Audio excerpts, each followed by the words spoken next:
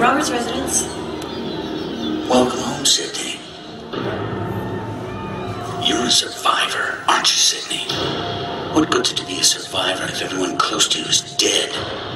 You can't save them. All you can do is watch.